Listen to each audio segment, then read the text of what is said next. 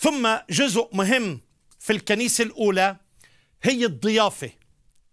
تعرفوا كانوا يتجولوا الإخوة من مكان إلى مكان وفي محطات تسمى محطات الراحة أو الاستراحة. وفي ناس عندهم موهبة الضيافة يعني الضيافة كل واحد مدعو أن يكون مضياف. بس أغلب الناس عبيد وأغلب الناس فقراء. بس في ناس عندهم الحالة منيحة وعندهم الإمكانيات. لأنه خلي بالك حتى الأغنياء كان عندهم خدم. ففي محطات راحة اللي كانوا يدعوا الناس إلى بيوتهم. كان في اهتمام بالأرامل. يعني اليوم في ال social services الخدمات الاجتماعية. وكانوا بيهتموا بالفقراء.